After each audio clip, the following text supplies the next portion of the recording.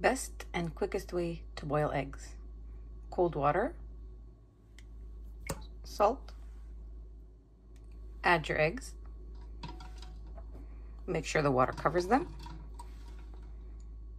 bring water to a boil. Once the eggs boil, turn off your heat, set your timer for eight minutes. Eight minutes later, remove from the hot surface. Drain the hot water.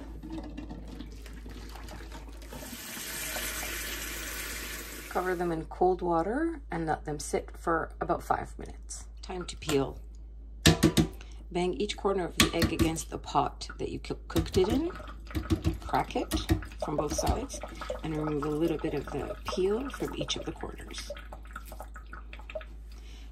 Go ahead and put it back under the water and then start cracking all the way around. And it should look like this. Now what you're trying to do is make the water go under um, the skin or the peel of the egg all the way around. And then go ahead and peel it slowly. The peel should come right off.